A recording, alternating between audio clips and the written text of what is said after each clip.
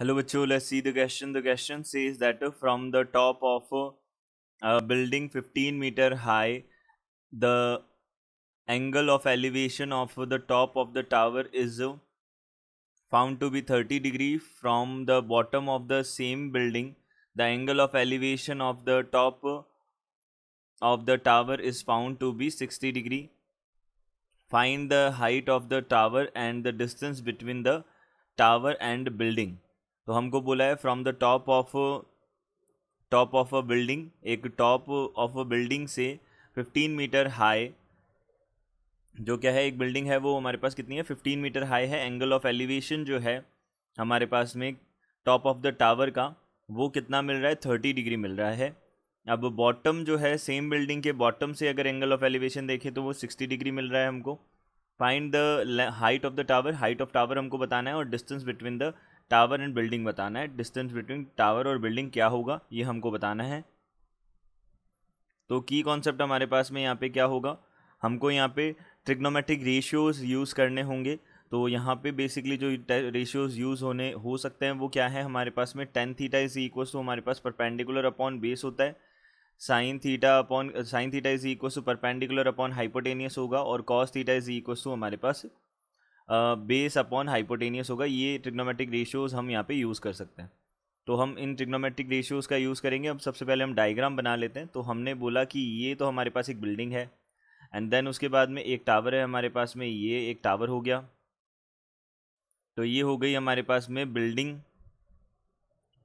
ये हो गया हमारे पास में टावर अब देखिए, हम क्या कर सकते हैं? सबसे पहले इसके पैरेलल जो बेस है, उसके पैरेलल जो ग्राउंड है हमारे पास में, उसके पैरेलल ही हमने क्या किया? एक लाइन ड्रॉ कर ली यहाँ पे।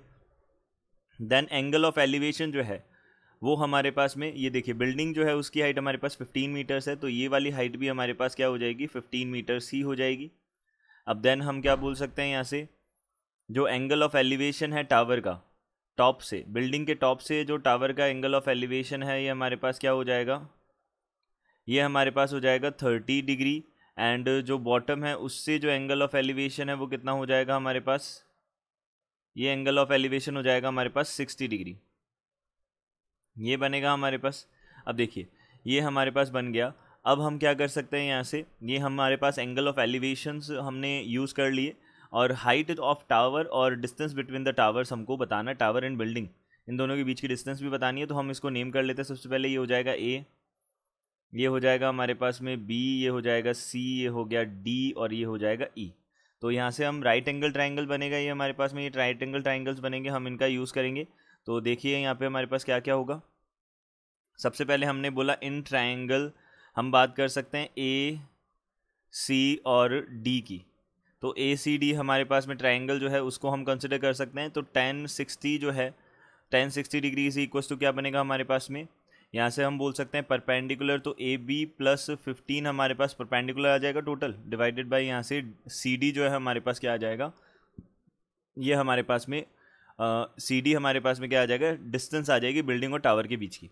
तो अब हम यहाँ से क्या कर सकते हैं? टेन सिक्सटी हमारे पास रूट थ्री होता है तो root three is equals to यहाँ से A B plus fifteen divided by C D बनेगा।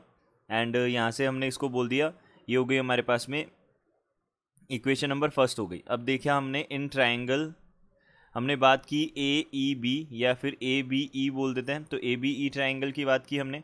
तो यहाँ से कितना हो जाएगा हमारे पास में टेन थर्टी डिग्री जो है वो कितना हो जाएगा।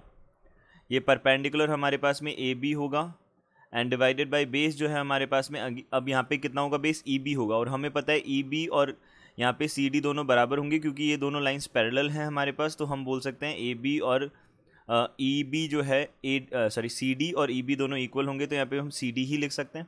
तो टेन थर्टी यानी कि वन अपॉन रूट थ्री बनेगा। दिस इज़ इक्वल टू यहाँ से ए बी अपॉन यहाँ पे सी डी बन जाएगा। ये इक्वेशन नंबर सेकंड हो जाएगी। अब देखिए, यहाँ से हम क्या कर सकते हैं? अब हम यहाँ पे इक्वेशन नंबर फ़र्स्ट जो है, उसके अंदर इक्वेशन नंबर सेकेंड का हम डिवाइड कर सकते हैं। तो फ़र्स्ट में हम सेकेंड का डिवाइड कर देंगे तो यहाँ पे कितना हो जाएगा? रूट थ्री डिवाइडेड बाय यहाँ पे वन अपॉन रूट थ्री बनेगा। दिस इज़ इक्वल्स टू यहाँ से A B plus fifteen divided by C D और divided by A B divided by C D है। तो ए सी डी से सी डी कैंसिल आउट हो गया, यहाँ पे ए बी बनेगा। अब यहाँ से हम क्या बोल सकते हैं? इसको हम सॉल्व कर सकते हैं। तो देखिए यहाँ से क्या बनेगा। तो three is equals to A B plus fifteen और यहाँ से डिवाइडेड बाई ए बी बन जाएगा। अब A B three A B यहाँ पे कितना हो जाएगा? ए बी इधर लेके आएँगे तो two A B is equal to fifteen बनेगा।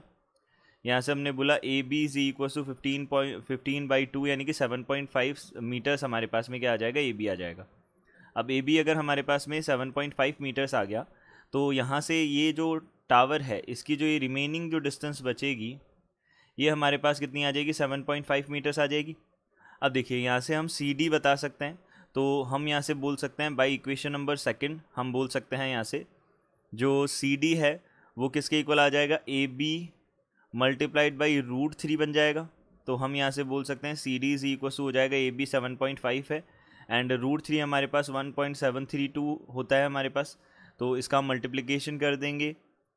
ये हमारे पास बन जाएगा ट्वेल्व पॉइंट नाइन नाइन हमारे पास में मीटर्स आ जाएगा। तो ये तो हो गया सी डी और हमारे पास ए बी हमारे पास कितना आ गया सेवन पॉइंट फाइव तो अब हम क्या कर सकते हैं? टोटल जो हाइट है, देखिए हमको क्या चाहिए? टोटल हाइट चाहिए टावर की। तो हम यहाँ से बोल सकते हैं हाइट ऑफ़ टावर जो बनेगा हाइट ऑफ़ टावर, ये हमारे पास कितना हो जाएगा? Fifteen plus seven point five हमारे पास में कितना हो जाएगा? Twelve twenty two point five हो जाएगा। एंड यहाँ से हम क्या बोल सकते हैं? एंड हमने बोला डिस्टेंस जो है distance between distance between tower and building जो है,